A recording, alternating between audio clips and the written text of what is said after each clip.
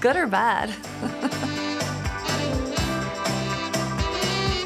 favorite movie ever is Adventures in Babysitting. That's my favorite. That's at the top of my list. Princess Bride is right below. I think at that point I was I wanted to be a teacher. I was going to be a teacher because that's what all my family did.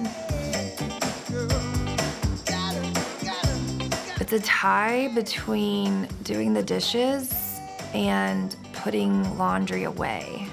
Folding, not my favorite, but much better than trying to put it away. Hate that part.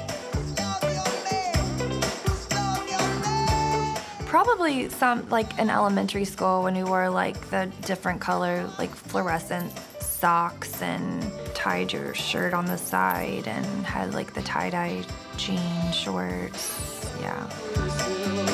Graeter's double chocolate chip, amazing.